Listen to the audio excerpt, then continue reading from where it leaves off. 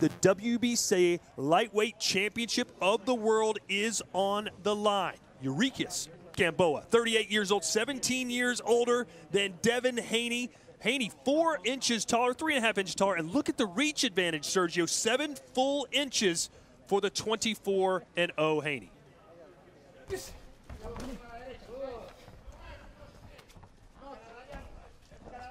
Sometimes it's, you know, fighters like Gamboa are too old to help what they really are or what they become. I mean, at 38 years old, does he have the legs to be as explosive as he used to be?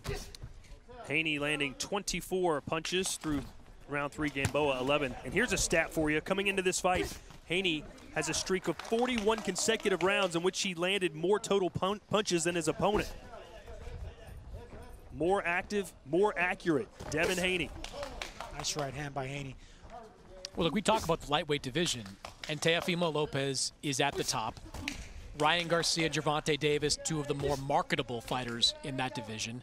But there are people in boxing that would tell you that Devin Haney is the most talented of these young lightweights. His skill is widely respected. Big right hand there from Devin Haney. Going downstairs and then trades the left hook. Man, just beautiful combinations. He stepped back, landed two punches, then the uppercut and left hook. Every punch in the book right there in four punches. I'm not sure how Gamboa took that uppercut. That was a big shot for me. I'm really surprised with, with Gamboa's chin. These are shots that normally goes down. There's, There's another one. A lead right hand from Haney. And it was the uppercut that ended the fight against Gervonta Davis against Gamboa. They say the legs are the first thing to go, but power and experience are the last thing to go. So Gamboa has that going for him. Haney landing more, Gamboa holding on more. Oh, and there's a hit on the break, and he will get warned. Listen to me. On the break, one more time, I'm going to take a point away. You understand? No punch on the break. Ready? That's go. frustration right there, Todd. That's frustration that Haney's not letting him stay in the inside to land anything, so he wanted to land on the break. Gamboa would love to just turn this into a street fight. That's exactly what he needs to do. Like I said earlier, turn this into a, a, a gun affair, a gunslinger. Be a gambler in there. Gamboa needs to be a gambler with his punches.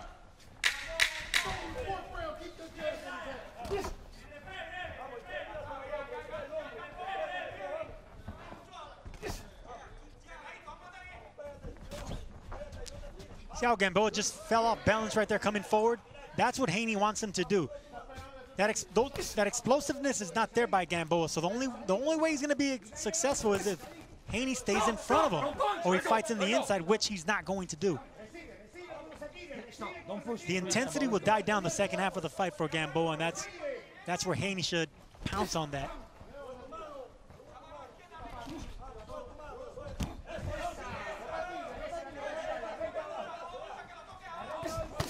Oh, big left hook. Gamboa's head snapped to the left. Takes another one. Every time you see a fighter shake their head and say that didn't hurt, it hurt. And these are the punches I was talking about earlier. It's the left and right hooks around the guard, but he's setting them up with those sharp stabbing right hands. Oh, and a big overhand right. How did Gamboa stand up from that one? Heavy, heavy punches landing for the Dream.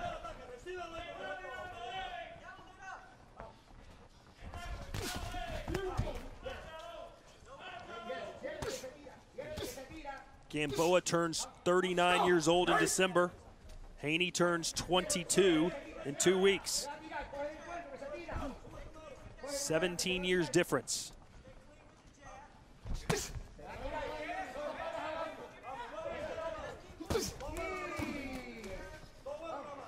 Okay, break, stop, stop.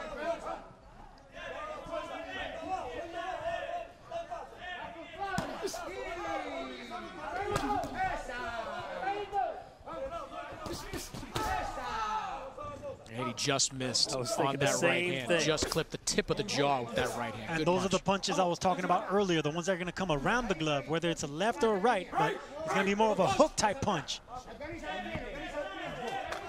You know, one name we've almost completely walked off the plank in this division is Lomachenko. Could you see Haney versus Lomachenko in the future? I doubt it. I think Lomachenko most likely is earmarked for return to 130 pounds, where Top Rank has several high-level fighters, including Shakur Stevenson, which would be a terrific, you know, Olympian versus Olympian matchup. Haney refusing to let Gamboa hold on here. He might take a point. And you can see Haney's legs. They're so agile. He jumped in with a left hook right there. All Gamboa can do is hold down. One point holding. No more. Let's go. Sergio, I brought this up with Rydell Booker in the last fight. Gamboa is a tough guy, but you've seen a lot of his fights. Do you get the sense he's in this fight to win? He was in this fight to win, not the second half. I'm telling you that the intensity has died down because the fatigue has setting into his legs. Right now, Haney senses that, and that's why he's taking more chances. Expect Haney to walk back uh, Gamboa and take a couple more chances offensively.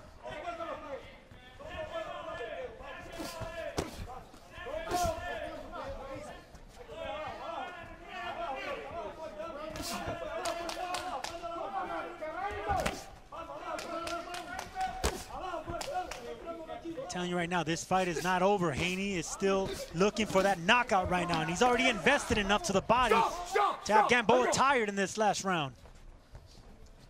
And we haven't really even mentioned Haney's surgically repaired shoulder. It looks pretty darn good. Shot to the body.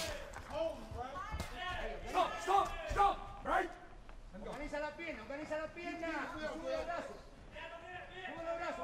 Will we have some late fireworks here?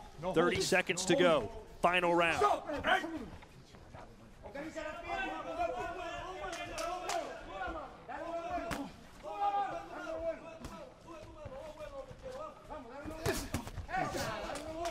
Again, just off the mark for Haney. Haney's looking for a home run. I'm telling you, whether it's a right uppercut and left hook, he's looking and barely missing.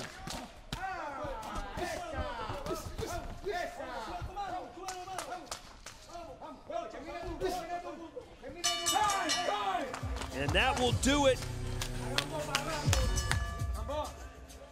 Ladies and gentlemen, from here at the Seminole Hard Rock Hotel Casino, we go the distance 12 championship rounds of boxing.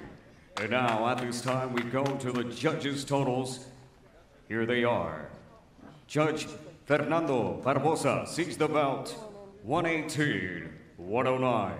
Judge Michael Tate and Michael Ross have the bout 120 107 for your winner by unanimous decision. And still undefeated, the WBC reigning lightweight champion of the world, Devin the Dream